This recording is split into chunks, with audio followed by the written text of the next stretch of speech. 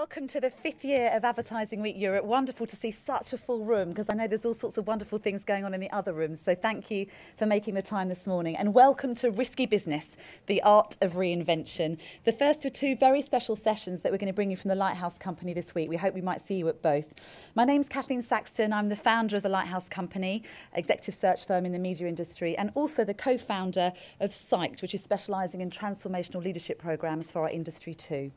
We also have a psyched session this afternoon in this room at three o'clock talking about mental manifestos. What's our sort of manifesto for mental health? We've got Oliver James, psychologist, myself, and a guy called Hussain Manawer, who's the youngest Muslim who will go into space, who's also a mental campaigner for the millennial uh, era. So I hope you might be able to join us for that for three o'clock. But for now, we have an amazing session this morning.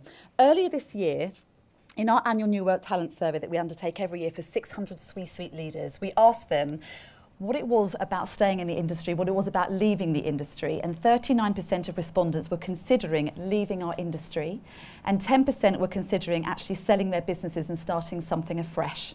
And while these levels of transience can open doors for new talent to enter, the flip side is, of course, it represents a real danger for permanently losing some talent within our industry. But why was that? Perhaps we shouldn't be surprised.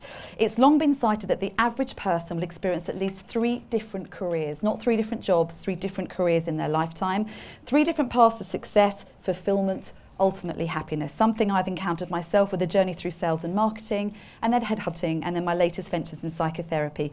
That certainly keeps me mostly out of mischief. There are many varying personal professional factors that could drive such a fundamental life change, and for each individual, the shift can be very, very different. And it can be difficult too. Is it something that you grow into? Is it something that you've harboured desires for for quite some time?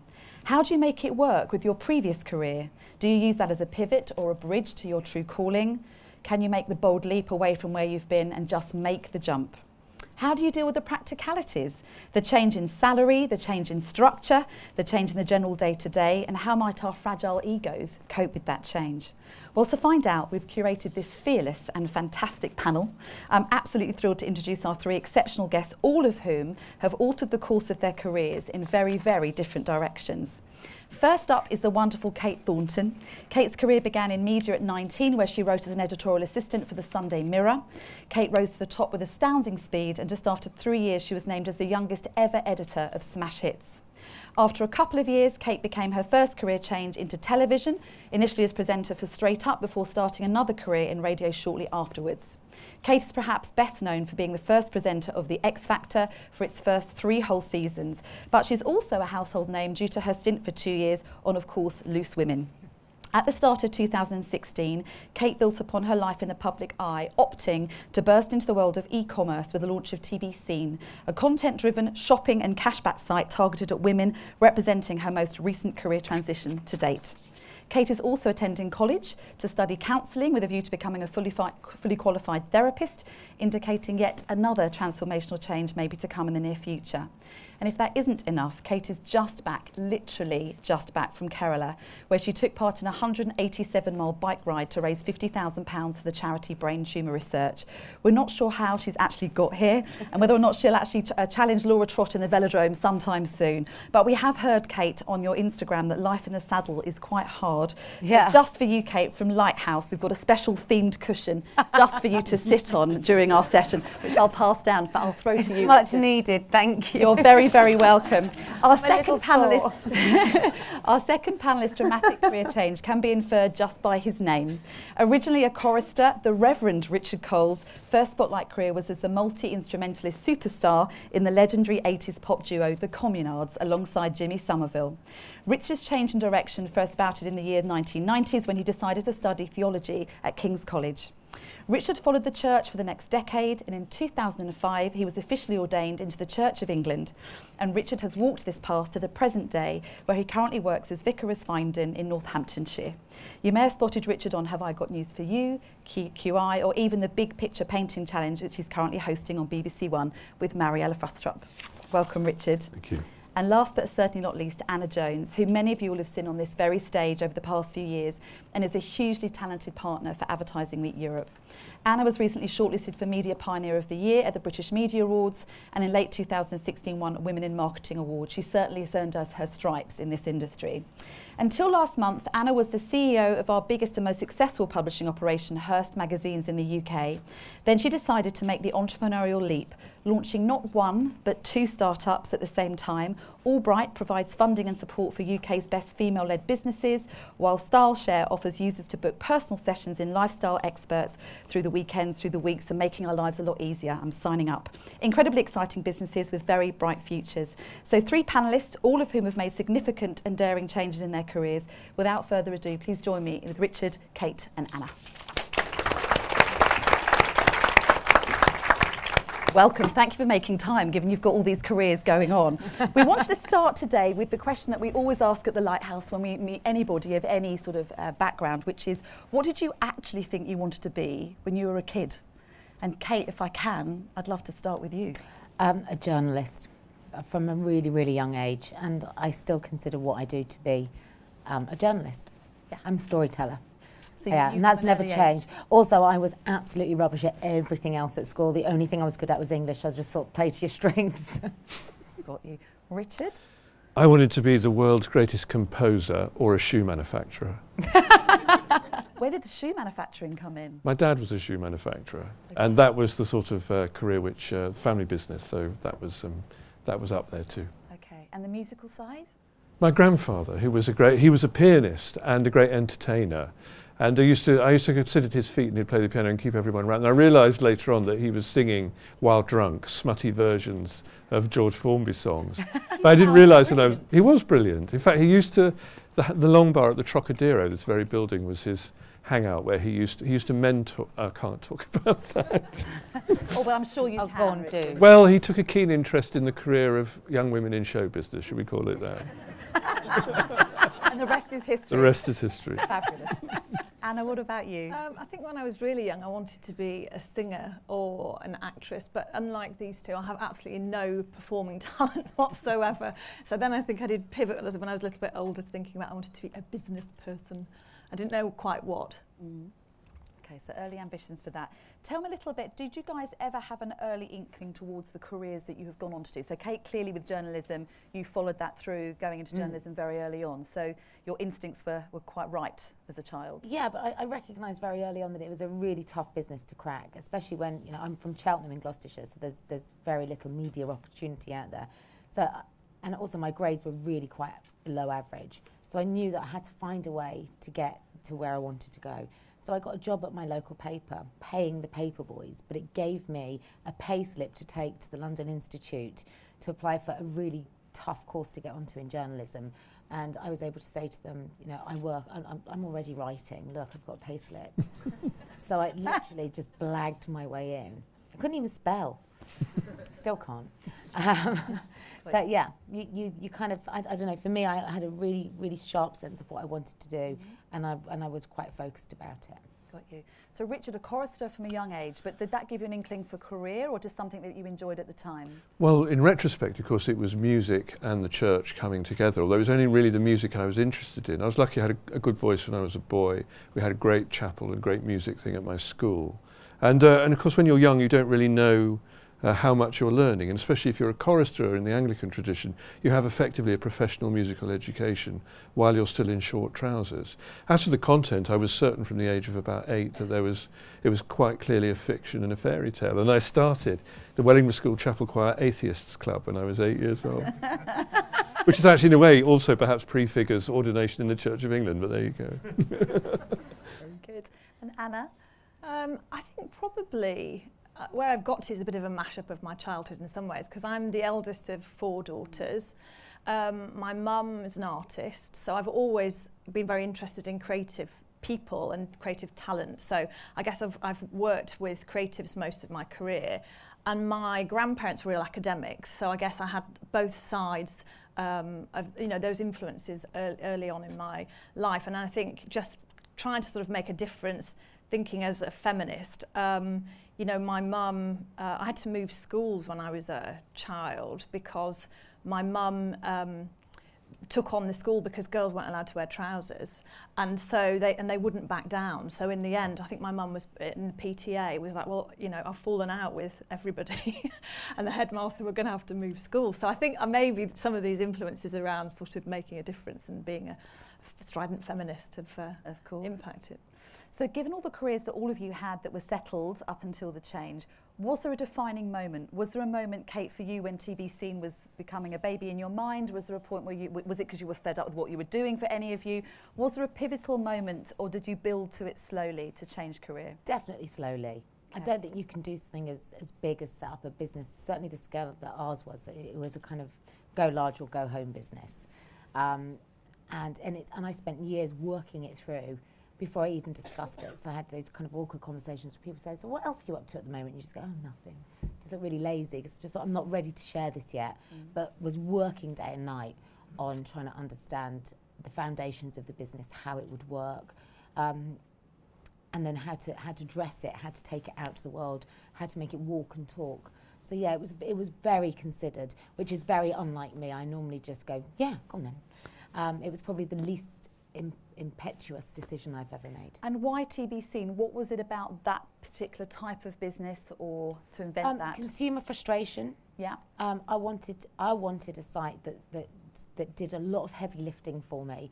I was a full time working single parent, doing all of my shopping online late at night, and having to trawl from here to there to everywhere.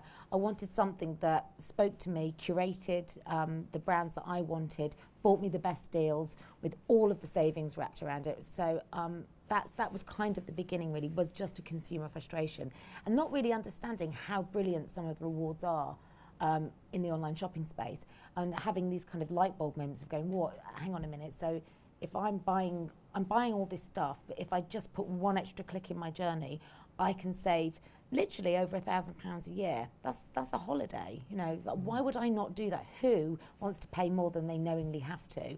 Um, you start to feel quite stupid for not doing it. And, and then I just thought, right, started telling my girlfriends about it. They all got quite evangelical. And I just thought, there's something here. But then I had to understand how to build it, never built a website, how to market it, um, and how to make it not feel something that was horribly complicated, which had always stopped it resonating with women. So, Yeah, so it's a very long answer. No, no, really helpful answer.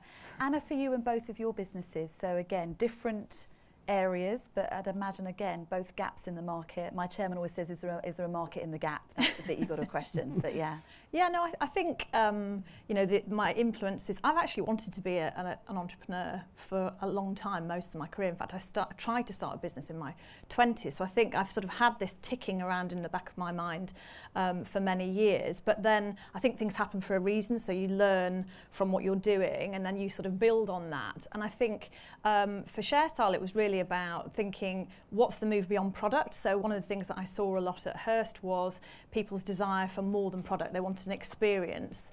Um, so we started thinking about, well, what, you know, what does that mean beyond product? Actually, it's really around the people behind, um, you know, the talent, I guess, behind the magazines and behind Instagram, behind Pinterest, and how do you actually buy into them? So actually, it's a very simple idea, but I guess what I saw is all the trends around me in the media and as a consumer and thought there's a, there's a big gap there.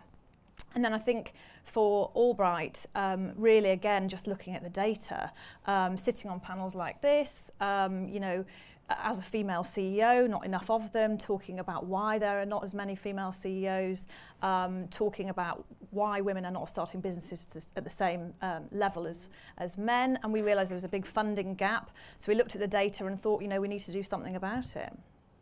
Got you. And Richard, for you, different story altogether for you. So the height of the communards, tell us something about it. We're desperate to know. Well, if I could remember it, I'd be happy to tell you about it. But no, well, it was it was the it was the the middle of the 80s in an era when the record industry was particularly flush, partly because of the nature of the format. They could charge a big premium on that, partly because people were duplicating their record collections on CD. So it was a it was a wash with money really, and all the kind of stuff that goes with that.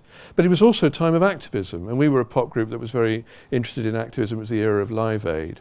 And I think lots of what we got interested in was how you could use that kind of the dynamics of popular culture to switch people on to uh, ideas that they might not otherwise be encountering, and also to use it as a way of resourcing some activism around that. So HIV and AIDS hit middle uh, 85, 86, 87 for us. And so a lot of our energies then went into activism around that. And it was through that really that I started realizing that a lot of what we've been doing had been uh, sort of out there and that there was an internal deficit as a result of that. the kind of um, the dynamics of pop music were such, you get caught up in that. It's like water skiing. You you have to sort of stand up and hold on, and it's all directed out. And then I began to realise that there was a kind of internal reality that wasn't being fully acknowledged. And when I started to pay some attention to that, I found myself kind of actually having this strange nostalgia for what I'd felt in chapel when I was a chorister as a boy, and something about the power of music to connect to profound needs within people and also interesting ways of answering those intractable questions. And that kind of led me gradually at first and then dramatically, sort of a conversion moment, into seeing a different sort of future open up. Mm.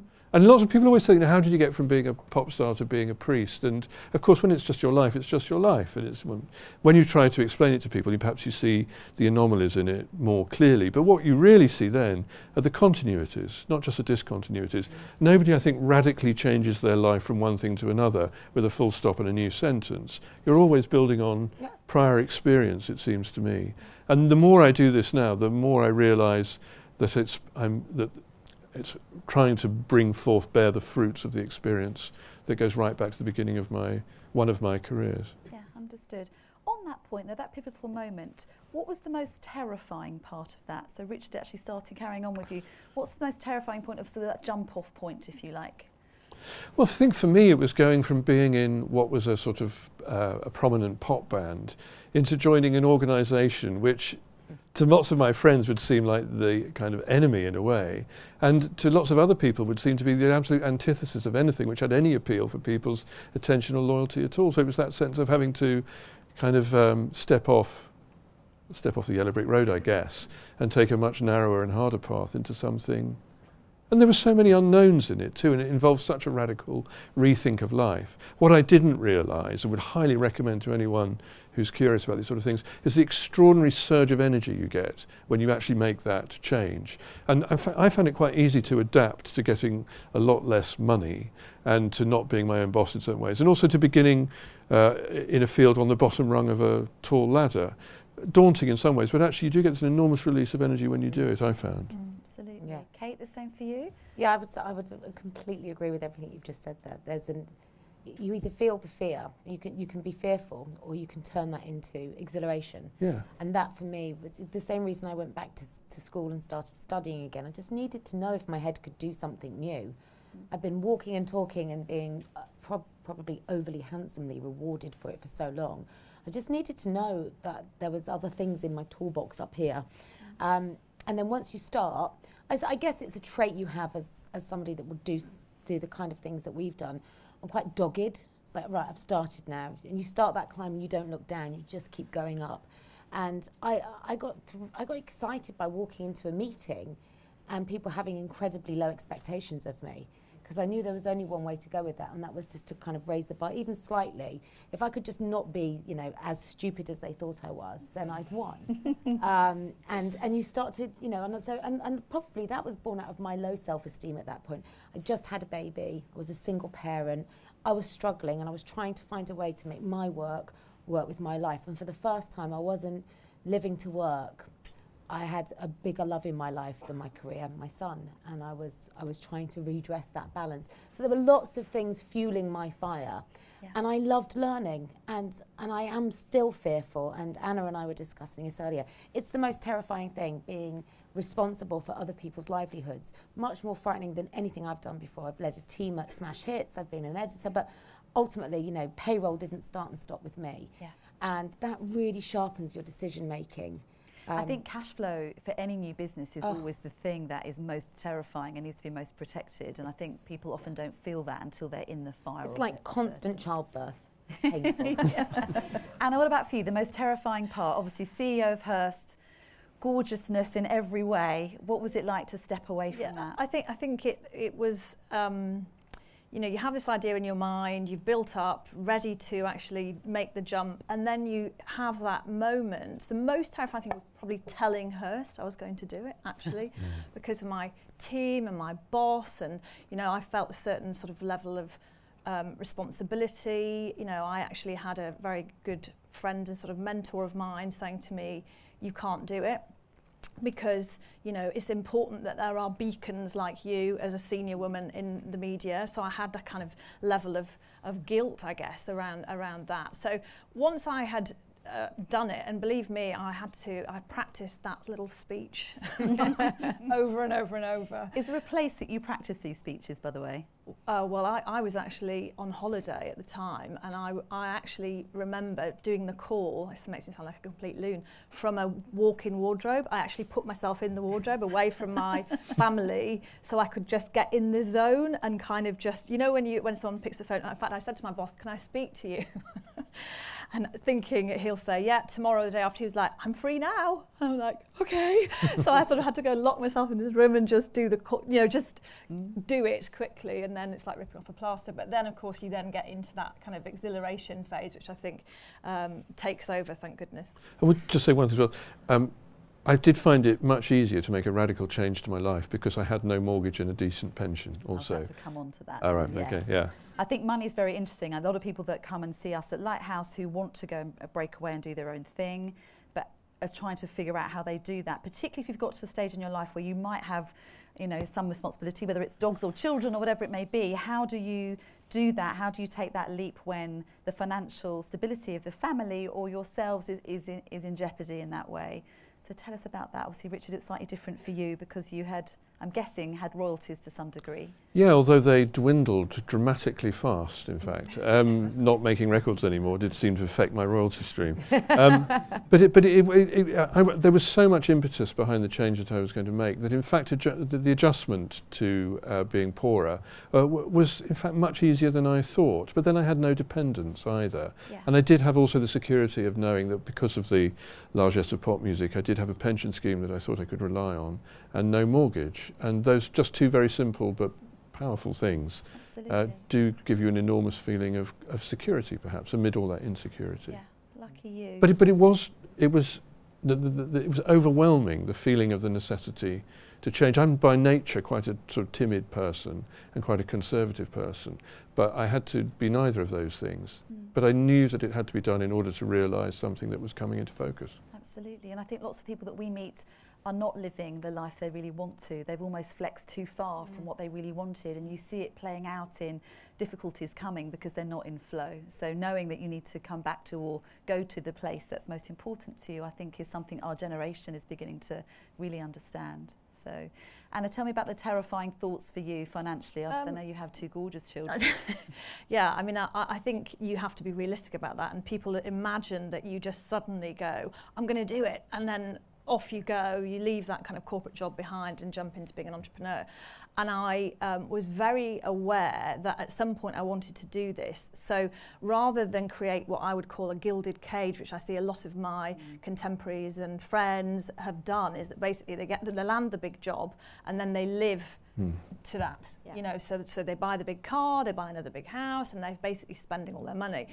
Um, I was very conscious of that. And so I pared right back and made sure that I was living on a kind of lower means, if you like, for a certain amount of time so that I could buy myself effectively that kind of freedom to do it and allow myself enough runway um, that I could feel I could look my family in the eyes and, and, and maintain my responsibilities because, you know, it's all very well going, oh, yeah, I'm having all this fun doing this on, on this entrepreneurial journey and then my, you know, I've got to take my kids out of school or, you know, I can't afford to um, put food on the table, whatever it may be. So I think that's really important. And actually, it's something that not many people talk about. Mm. They, they just talk about the fact that, oh, yeah, I just went and did this. And realistically, I think um, you do have to plan it properly if you don't want the unbelievable amount of stress that would happen where you're suddenly cutting your salary to, I don't know, a quarter or less than you were on before. Absolutely. Kate, mm. for you, I know there's been investment conversations as well as own personal revenue yeah. going in. I mean, so I, I, I, I, my thinking is much like Anna's. You know, my career's I've, I've, had a really interesting run, um, but I've always paid myself a salary and built up a war chest because I always knew that I was in an incredibly fickle business mm. uh, where women of my age seem to just fall off a cliff. Um, so in terms of their visibility. Um, you know, especially when I was trying to go out and find funding for my business, there were no women to talk to. Um, you know, I could have I could have done with Anna Jones about five years ago, really, um, big time. So I'm, I'm really thankful that other women will have your organisation to go and talk to. Um, so I, I had done the same, I, and I worked for two years unpaid. Um, maybe even more actually on TB scene and invested my own money um, and pulled in every favour in my black book that I could um, to try to realise, even if it had potential. Um, and then, but I am lucky as well, you know, I can go and do a voiceover and it takes an hour, or a TV show that doesn't eat an awful amount of my time. I wasn't having to do it on top of a full-time gig. Um, but I definitely cut my salary, definitely have lowered my earnings. I've, I, I you know, haven't earned as little as this for a long time, but it's it's worth it. Get ordained. Because I'm proud. yeah, get ordained. I don't think they'd take me, Richard. You only have to look on my wiki page to see that I'm not going to cut your cloth. Um, those days are long gone. Um, so yeah, and, and I think you know you you're right, Anna. It's it seems vulgar to talk about money, but let's be honest. I, yeah. I you know I have been lucky. I have earned well and I've saved hard. Um, and that has afforded me this opportunity to go up to somebody, you know, for somebody to come up to you now and say, I want to start a business, you should go, go for it. You know, yeah, it's easy. It's not. You need money, you need vision, you need faith in yourself. But most importantly, you know, bills don't pay themselves. You need cash in bank. Yeah. You do. The, I was before I was um, vicar of where I am now in Northamptonshire. I was vicar, uh, curate in the gritty inner city parish of Knightsbridge, London SW1. wow! But it was very interesting talking to people there, particularly people who worked in the financial sector, who were living in the parish, who had made a pact to themselves. Often bright kids at university. I'm going to go and work in the city. I'm going to make my fortune, and then I'm going to retire and do all the things I want to do. And they'd get to 40 or 45 and discover that they weren't the person they were when they left university. And that's another thing it's important to be realistic about, is that you will not be the same person in the middle years of your life as you were at the beginning. Absolutely mm. so. Now talking about that and actually traits, for example, what are the traits that you feel you need to have to be able to make that leap into something new? And indeed, is there a trait that potentially binds you all together? Well, need, I think, for me. I needed to change the way I work to be the mother I wanted to be. Yeah. And there is no greater focus than the needs of your children. Um, so, so that was my big driver. Mm-hmm. And I'm I'm so risk averse. I'm like you, Rich. I just I, I hate. You I save furiously. I have since I was a child. I've always had a piggy bank. You know, I've always been terribly scared. Um, and this is probably the most terrifying thing I've ever done and I've put myself out there and I'm still scared. I'm going to be really honest with you. Every month I'm scared um, that, you know, oh, is the business building? Are we doing okay? There's a horrible sense of pride that comes with it that's totally ego. Um, because actually, if I look back over the last three years, my greatest lessons have been my failings course, often the way, isn't it? Yeah. I think facing those fears. Well, because when something works, you just go brilliant. But look at this fire over here. Am I going to put that out? um, and that's what you're there to do when, when you're when you're running a business. Yeah. Um, so it is. It's it's no picnic. Trust me. It's not even a buffet. Sometimes okay. it's just just hellish. but um, once you neat. start, you, yeah, you you can't. It's it's it's like you keep putting your hand back in the fire. Um, I don't know why, but I'm in it now. I'm not going back. So it's not the fires of hell. I'm sure Richard could help us with that. Yes. Case, that were the case. um, Anna, you were nodding knowingly yeah, there. no, I, I, well, I think what you're talking about is resilience. You know, you've got to be incredibly um, resilient. I also think you've got to be very optimistic. So, you know, very sort of positive yeah. and can do. And we were just chatting before, just talking about you can't look, or, or, in my view, you shouldn't keep looking back. You've got to look forward. You probably disagree with that as a psychotherapist, but, you know, keep looking forwards. Um, and, and I think, you know, unbelievable hard work. You know, one of my old bosses that always used to say that phrase of, you know, innovation is 99% perspiration, 1% inspiration. Not I think that's what sometimes shocks me actually, people that want to set their businesses up and aren't prepared to put in, you know, it yeah. doesn't have to, shouldn't always have to be, but actually the hard graft of working to the early hours, not having resource, doing everything yourself, being really ready to do that if you are going to change. I'm sure even for studying and other things, Richard, it's just different ways of expressing it, but yeah. putting that amount of effort in that's self brought, if you like. I think some discipline is really useful, actually. Yeah. Acquire the habits of discipline, acquire good habits. The enemy, I've often found, has been inertia. more than anything really. It's just kind of lapsing into a kind of uh, whatever and not doing anything. So I need to be disciplined about that because sometimes all I want to do is watch match of the day too. And, uh, uh, Mine say yes to the dress. That's my time, my downtime. say yes to the dress on repeat. I'll watch it over and over. Again. I think as well, one, one trait that we've probably all got in common, um, and anybody that, that takes a leap of faith, no pun intended, um, is being interested. Yeah. You know, in 1990, our world changed. The internet was born, and look what it's done to us. And I, I would imagine that everybody sat in this room um, is connected in some way, their working world, to the internet. And um, I've, you know, I've got friends, the mums at school that, you know, I'm not going online, like they're kind of defying it. It's like, well, you're missing out on a massive, not only conversation, but the, you know, I've just come back from Kerala and there's people in the backwaters of Kerala videoing us on their iPhones. We are connected in a way that we've never been before. And for me, um, I wanted to be part of a revolution. We might not have another in my lifetime. And, I, and it's shaken up what I do for a living. I'm fundamentally still doing the same job. It's just delivered in a different way. And I love, I love that change. And some people kind of are scared by it, certainly in publishing. I know that lots of people just went, and telly as well, going la, la, la, la, la, la. It's like, you can't do that. Embrace it, learn it, love it. Absolutely. So knowing what you all know now, what's the one thing you might have done differently as you embarked on the, the change journey, if you like? bought shares in Microsoft and Apple. Apple, definitely Apple. Uh, seriously, um, I think I would uh, um, to have found ways, which I've since learned, of using the kind of fear and anxiety that that sort of change produces as a kind of fuel, yeah. to use that as something to kind of propel you and energize you rather than thwart you. Yeah, wonderful. Anna? Um, I don't think there's anything particular. I mean, I, I would say, oh, maybe I'd have done it before, but then I kind of feel like you know, you, you, you're there for a reason and the timing comes around for a reason. So yeah. I, I think I, I, there's not something, one thing that springs to mind. Kate? Um, I don't know that I could have done anything. To, up until this point in my career, everything had happened to me. Um, so in many ways, this is the beginning for me in terms of doing something that I started. That yeah. I, you know, everything else was just didn't find me, didn't land in my lap because I really worked quite hard at to, to, to make those opportunities mm -hmm. sing and dance. Mm -hmm. um, but this, yeah, this, this, I don't know if I would have done it differently. Yeah, I would okay. have. I would have maybe hopefully found some easier routes to investment. That is the biggest ball ache. Sorry. No, that's all right. I don't understand oh, those it's words. It's a world of pain.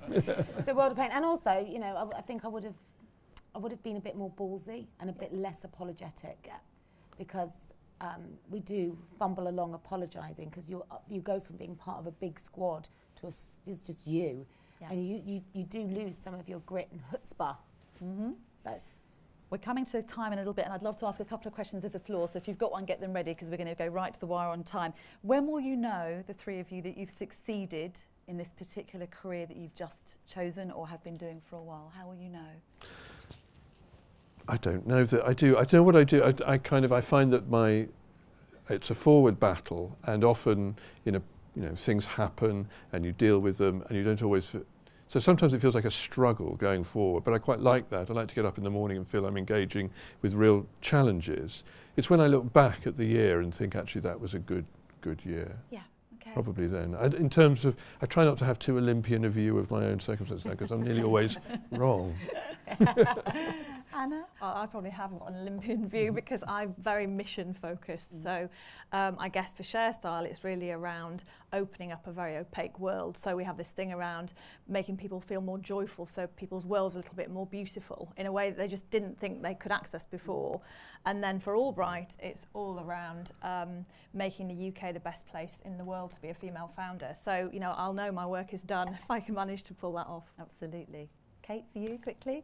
Um, success, it feels like success right now because I'm in year two and we're growing month on month in a way that is, is beyond my wildest dreams a year ago. So baby steps, you know, yeah. last year I just wanted us to grow. This year yeah. we're growing. Ultimately, if next year we're washing our own face, that will feel like triumph with bells on right now. But then ask me next year what success looks like, and it will have changed. I, I think it's a bit Maslow's hierarchy of need. Yeah. I, you know, at the moment I'm at food and shelter. Yeah. I'd like to quite get to self-actualization at some point, but all in good Hope we can all help you in this room. I'm also quite old up. and tired, if I'm really honest. Just quickly, any questions from the floor? Anything you'd like to ask our wonderful three career changers? Holly, I can see in the middle over there. Hello. Hello. Um, you you all have very fascinating stories, um, but you've spoken in the individual, and I'm curious as to whether there have been people around you or people in your lives who have enabled you to have the forward momentum and, and make the changes that you've you've sought to. Absolutely. Yeah, you're only as good as the people that support you. And actually, sometimes you're only as good as the people that doubt you. I think as well, I, I think one of the reasons I do what I do now is because I saw other people make it look possible. And simply by doing what they were doing and being who they were, they seemed to do it without too great a loss of integrity or authenticity. And that expanded the imaginative world. And then I could see myself with other people doing that sort of thing too. It's sometimes just simply that. Mm-hmm. And for me, I'm, I'm very lucky. I've got an amazing co-founder, so that was a big catalyst for me. And, and having an incredibly supportive husband also helps. Got you. Any other questions? No? Well, then, just quickly before we end, just to make sure that we are living and breathing our values, there is a wonderful man in the audience called Jamie McCluskey who has also just made his career change. He was running as commercial director at AOL and he's founded his own new snack company, which is actually called Love Corn, which is roasted corn. And on your way out today, he's going to give you a sample of that. So we're going to support him as he's making Yes. his career change. So Jamie's is standing over there. Say hi to us, Jamie. So congratulations. Good to you. luck. Good luck. And can I just say thank you to Kate and to Richard and Anna for sharing our story, your stories with us today. Really, really grateful for your risky, risky business. Thank Thank you. you. Thank you.